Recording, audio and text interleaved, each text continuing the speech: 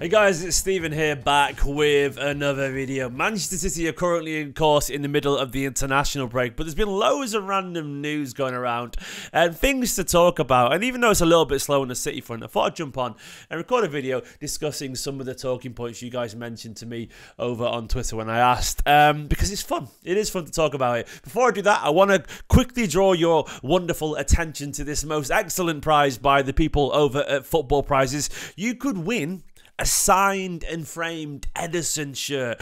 Put it on your wall. Make it look absolutely beautiful in your man cave, your bedroom, wherever, your kitchen, your dining room, wherever you want to. It's such an awesome prize. And more than that as well, in this same draw, they've got two hospitality tickets for the City versus Real Madrid game in the Champions League quarter final. You could win them as well. How exciting is that? Very low odds to win it. Best of luck to all who enter. Head to Football Prizes right now with the link in the description below. And hopefully you can win either uh, two tickets tickets for Manchester City versus Real Madrid in the Champions League hospitality or a signed and framed Ederson shirt. Very, very exciting. For the cost of a cup of coffee as well. Absolutely worth an entry. Good luck to all who enter. Go for it right now. Let's get into today's video. After I've told you to like this video and give it a subscribe as well while you're there. Do it. Go on, help support the channel. So let's talk about the news um, that's been sort of clogging up our timelines on Twitter and all that kind of stuff. The first thing I want to talk about is the rumours about Jarrad Branthwaite, the Everton player, the centre back, and the 21 year old who's currently on the lips of most people in this country as one of the biggest talents in the English game a really exciting young talent. He, of course, just made his first call up to the international team, so he's currently training with our very own Phil Foden, Kyle Walker, Johnny Stones, people like that. And there's a little bit of rumours going around yesterday uh, that Man City are monitoring the developments of the Everton centre back Jarrad Branthwaite. While City are not sure players in the position, their intent is to keep the competition high, and they're keeping an eye on the 21 year old's progress. Um, I think this is a natural development because basically Jarrad Branthwaite is sort of like the next John Stones. Of course, we're going to be paying attention attention to a guy who, like John Stones, is at Everton, who also seems like a Rolls Royce of a footballer. Now, if you don't know much about Jarrad Branthwaite, I'll sort of try and fill you in a tiny bit right now. Um, 21 years old, currently playing for Everton in the Premier League, having a great season for them. Previously, uh, he, he joined from Carlisle United. Obviously, uh, that was a few years back now. He did go on loan when he joined Everton to Blackburn Rovers, alongside our Taylor Harwood Bellis, actually. And I think Harwood Bellis was actually probably the slightly stronger of the two at the time. So it's funny how to see careers can change, isn't it? Taylor should be in the Premier League, maybe. There's an argument there that they could be having a similar trajectory. But anyway, uh, Jarrad did well on loan at Blackburn. But most interestingly for him, uh, last season, he joined PSV. Yep, the Dutch Giants, PSV Eindhoven, on loan and had a really good season season there, winning their domestic cup uh, and starting most of their games. A really, really good turnaround for Branthwaite um, and a fantastic loan for him. Uh, and then, of course, he's come back and started playing for Everton. Now, what would you get for the potential money? Well, you get a guy who's six foot five, which is great. You get a guy. Um, who can play on left centre back, right centre back. He's more or less two footed. He's got a good height, good reading of the game, and he's got a decent turn of pace as well. Essentially, you're getting a guy who's a lot like John Stones, and it must be tempting for Man City to look at the defensive options we've got and consider consider the possibility of another centre back. The only thing I would say is I do think Josko Gvardiol in long term will be a centre back. We do have Ruben Dias, we do have John Stones, we do have Nathan Ake. And I don't think we're quite there yet. I think City are right to monitor him. I don't think we'll go in and buy him yet because we don't need another centre back. But Jarrad Branthwaite is the kind of guy who, like John Stones, could reach the pinnacle of the game. And John Stones has reached that level. You could argue that we have young footballers like Harwood Bellis, people like that, that potentially could get a chance if they get a Premier League loan. We could be talking about him in a very similar way. It's easy to argue that. Branthwaite didn't even start uh, as part of England's under 21's uh, success last summer. You know, Harwood Bellis did. He was captain in that side. So you can see how these things can shift very, very quickly. But he's a very good footballer, a very good footballer, um, an excellent talent, a Rolls Royce. He's impressed against pretty much every single team he's played this season, and he's one that I like to see City pay attention to. I don't think we'll buy him for what it's worth, but I do think if, it, if a sort of like. Uh, uh, a bidding war came in, I think City would be paying very close attention to, to how that developed and how it went down. A cracking player. And let me know in the comments if you want to see Manchester City. Second thing I want to talk about is Kyle Walker. Now, of course, he did withdraw from the England squad due to injury, unfortunately. Yep, he's got a hamstring injury. He only lasted a few minutes, of course, against Brazil. 20 minutes, something like that. He tried to run off the problem, but it was called to be replaced moments later.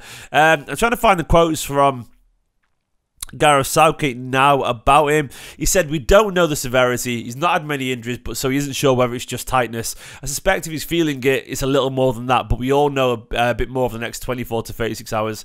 24 hours later, he withdrew from the squad. It is concerning, I can't deny it. Now, people immediately start thinking about Vinicius Jr., Real Madrid, the title running. I sort of divisively tweeted that I am quite relaxed because I think we've got Akanji and I think I trust him more right now. That's not to say I don't trust Pete Kyle Walker more. I do. Uh, but I think Kyle Walker this season, he's not really filled a lot of us with hope, you know. Kyle Walker's a fantastic footballer. He's our club captain. I've got an enormous amount of respect for him. I think he's the best ever Premier League right back. I think he's that much of a legend. But I do think his form has been up and down this season. And I do think his acceleration is slowing a tiny bit. Top speed, no. Acceleration, maybe. And it is worth remembering that towards the back end of the last season, Kyle Walker was sort of out of the team a little bit with Akanji playing that right back role really well. Of course, Walker did come back in for the semi finals and he did play excellently against Vinicius Junior, he was brilliant there, and probably is still the very best to focus uh, to uh, to to stop him, best equipped to stop him.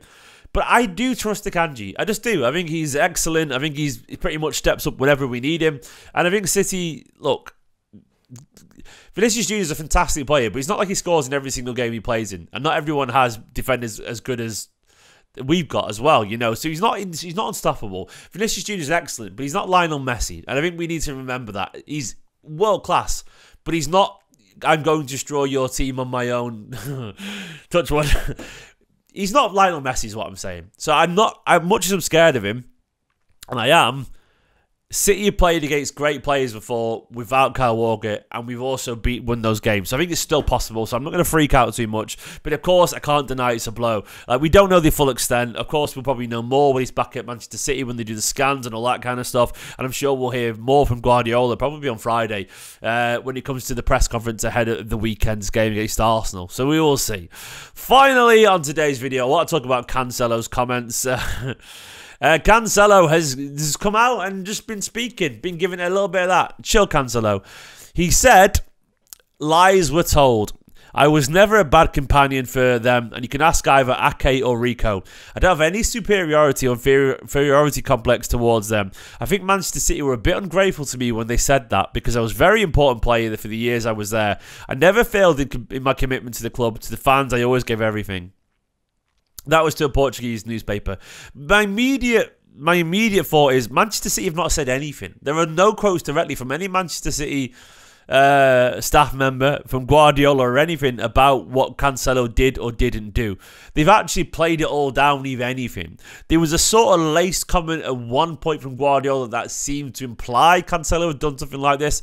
I think he said something once along the lines of everyone will be happy, well, almost everyone, or something like that once. But that was that was the, the extent of what I can think.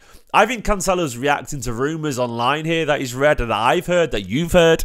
Um, and I, even being honest, I think there's elements of truth to those rumours. I think Cancelo is not the smartest of guys, if I'm being honest. I think he's a fantastic footballer.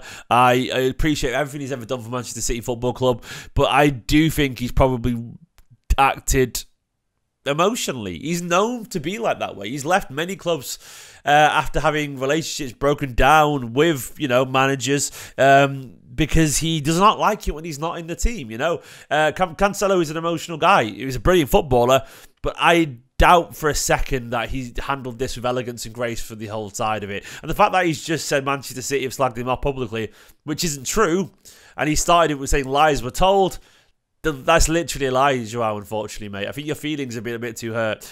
I'm not going to labour this too much. I think he's a scorned man, a little bit bitter, but I think he's also not the, the most secure person in the world. It is what it is. I don't think he means badly. I just don't think he can handle his emotions. And I still love Joao Cancelo. I think he's a fantastic footballer. Um, but I think he's a little bit childish. And I think that a lifetime of football, a lifetime of being taught that you're the most special uh, and the best can do that. And I think we know, of course, he's got insecurities due to things that happened personally to him and so on. And he talked about how, you know, he played the next day after he was robbed and so on. And that was took an awful, an awful lot of bravery and, you know, commitment to the team. I'm never going to play down what he accomplished at Manchester Manchester City. But I really doubt that City shipped him off to Bayern on loan two days before the transfer window closed for no reason. It doesn't. It just doesn't make any sense, you know. It doesn't make any sense whatsoever. To me, it doesn't. But guys, there are my thoughts on the topics about Branthwaite, about Kyle Walker, about Joao Cancelo. Let me know your thoughts about Jarrad Branthwaite down below. Do you want to see him in Manchester City shirt? Let me know what you think about Kyle Walker's injury. Can we cope without him? Joao Cancelo, what is going on there? Give the video a like. Check out, of course, the football prizes competition. You could win a pair of hospitality tickets for Man City versus Real Madrid, iconic, or of course a signed and framed Ederson shirt. Wonderful stuff. Link in the description below. For now, have a wonderful day. In a bit, you blues.